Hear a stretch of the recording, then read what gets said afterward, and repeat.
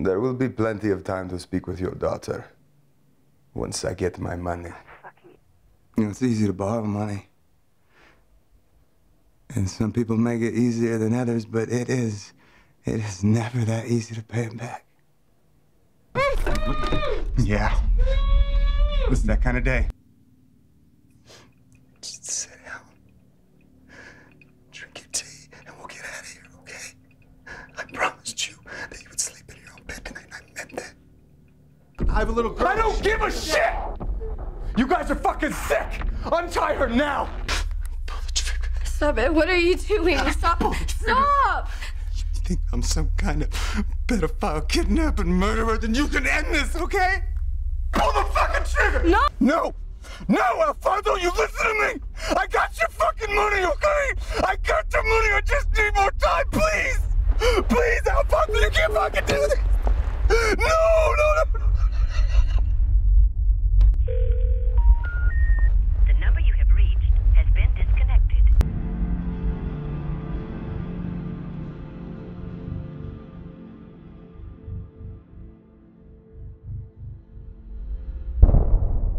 a post-apocalyptic warrior. I got a golf club.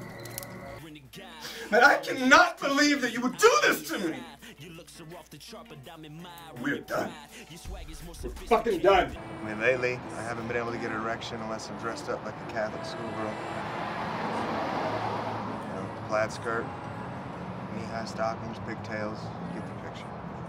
And on top of that, I can't climax anymore unless somebody's pulling on my pubic hair. Alright, stop being a dick. I can't, man. It's, it's hereditary.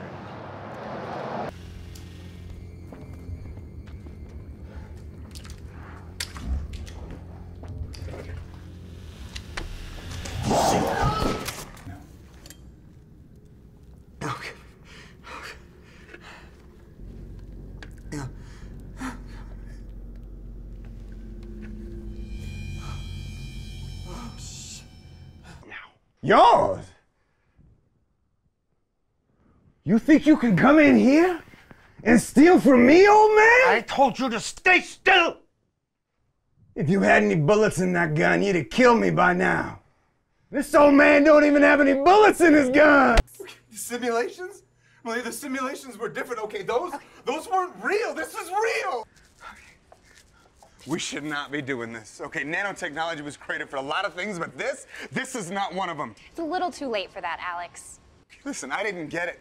Okay, you were the architect, right? You created this. But you left a lot of things out. Of course I did. Do you think I would tell you all my secrets? Let you know about all the back doors?